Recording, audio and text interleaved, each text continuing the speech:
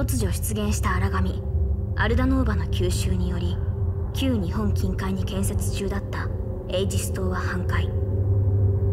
同日エイジス計画を強力に推進していた当時の極東支部支部長ヨハネス・フォン・シックザールがエイジスの崩落事故により死亡。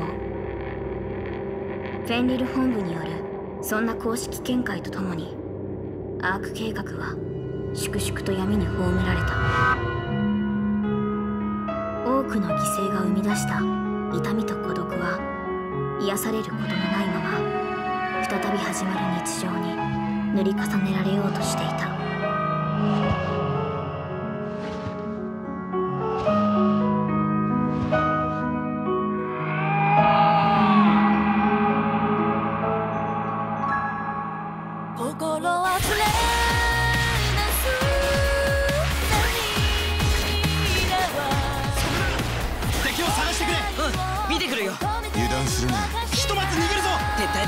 撤退だ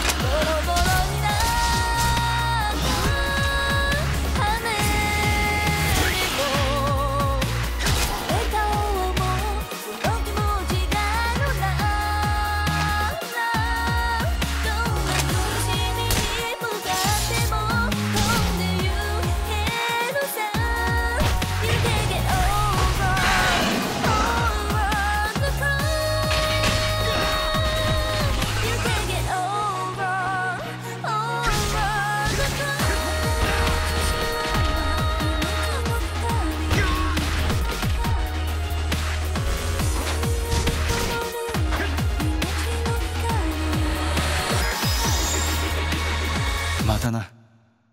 近いうちにまた会おう。